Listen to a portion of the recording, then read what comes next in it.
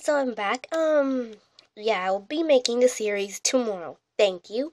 And I missed all my BFFs, I mean PFFs. And yeah, I'm back. Say yay.